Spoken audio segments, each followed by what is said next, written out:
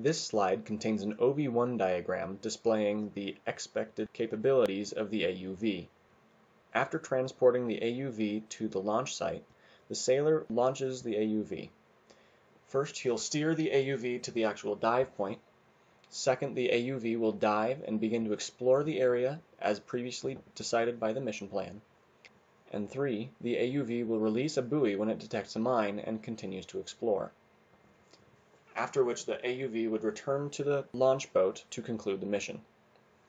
Also shown on this OV1 diagram are the communication signals. There are communication signals passing to and from the launch boat from its mothership as well as to the satellite for surface communications and you can also see the underwater acoustic modem communications between the launch boat and the AUV.